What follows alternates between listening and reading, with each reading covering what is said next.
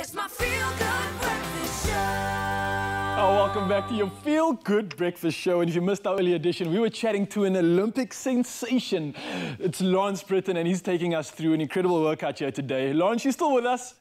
Still here, still Uh, strong. good to have you, man. Look, we were having such a good chat earlier. The last question I wanted to ask you before we get stuck into the good stuff I know you as an Olympian now, obviously wanting to row and not being able to. How exactly are you actually getting that rowing practice in, and how are you keeping sane?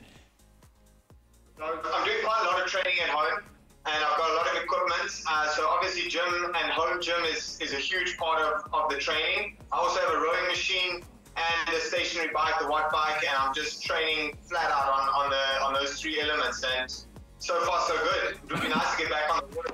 And of course, I see you got your dog there to keep you company as well and uh, extra motivation, which is cool. But for you guys that don't have the incredible equipment that Lawrence does, uh, we got a cool gym hack. So all you're gonna need today is a broomstick, all right? Very simple. And grab yourself a chair, a bunkie, or anything else that you can rest your legs on above the ground. And we are ready to shake and bake. So Lawrence, what is the first exercise of the day? How are we gonna start this? It's basically a bit of a warm up. It's uh, to be a jump. So just with a broomstick behind the back. All right. And um, maximum intensity. Make sure you don't hit the roof.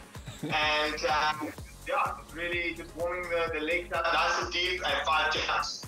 All right, you guys heard the man, so we're going nice and explosive. Get deep on your squat and go for a jump. He mentioned try and not hit the roof, so pay attention to that one. And uh, Lawrence, how many reps exactly would we be doing in total of this exercise? Five reps, and then we'll do uh, three them. All right, I've done my five. You heard it at home. We're going for five reps in total, three sets. And as an Olympian rower, Lawrence, how would you benefit from this exercise? I know we're doing a lot of legs. As a rower, I'd think that you need your arms only. So why exactly are you even training this part of the body? Rowing is all about the legs, big uh, leg power, and we want to be really explosive. So Ah. especially for the first part of the race, we want that explosiveness. So that's why the jumps are so important. Okay, brilliant. If you guys didn't hear that at home, make sure that you're not just training your arms. If you plan to be and if you want to become an Olympian and a rower, you guys got to work the entire body. And that's what we're doing right now. We're moving over to our next exercise. Kettlebell swing is just with a weight.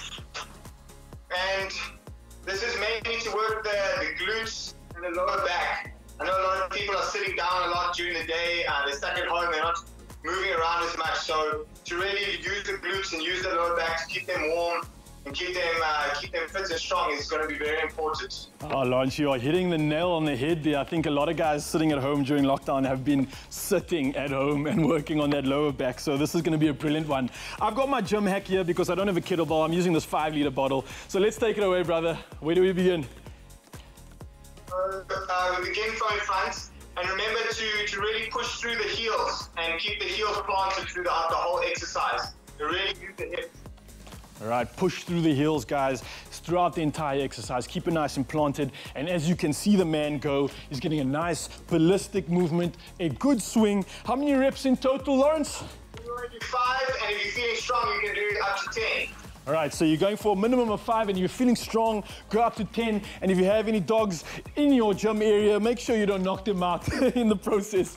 And I've just done my 10. Oh, feeling the burn in my glutes very nicely there, brother. That was a good one. Let's move over to the next one. What are we doing?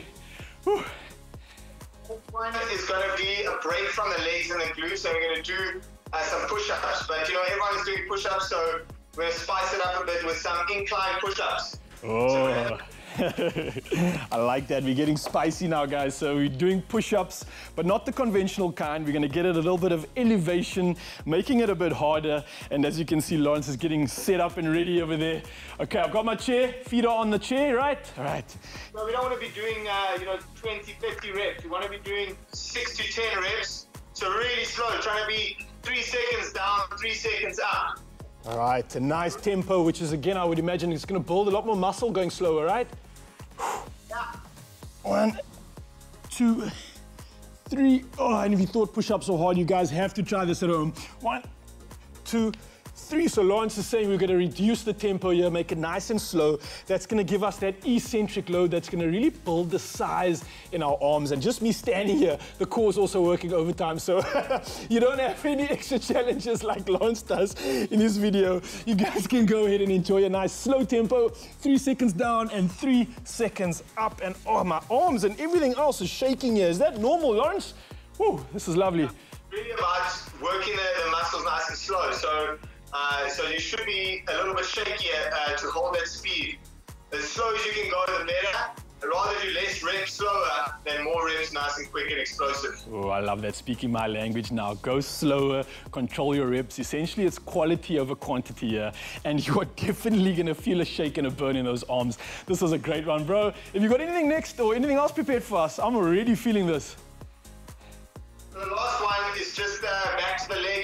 Back to and it's a nice lunge. All right. So again with the brute. I'm ready. So we're grabbing our broomstick again once again, guys. We just finished the upper body, moving back downstairs. I've got my broomstick. We're putting it behind our head, Lawrence. Ah, there he is. All right, I'm ready. Broomstick is just to hold the posture, keep that back nice and tall and the shoulders back. Otherwise, you're going to lunge forward and you're going to put weight on that front foot. Okay, nice. Same- And just alternating legs all the way down. Well as we go down. All right, so you heard the man. We're keeping the broomstick here just to maintain our posture and keep our core correct. And then once we're lunging, he wants to get a good stretch in that back leg. So that would be when I'm lunging in this position, that's my leg on the behind over here. And that quad is gonna get an extra stretch, which I think is very important for these rowers.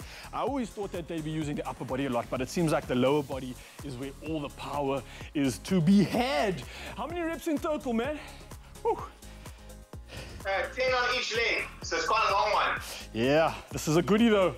I'd imagine on a, on a row you're doing a lot more reps than 10, so this is perfect training for that power, getting that ballistic movement and that speed in.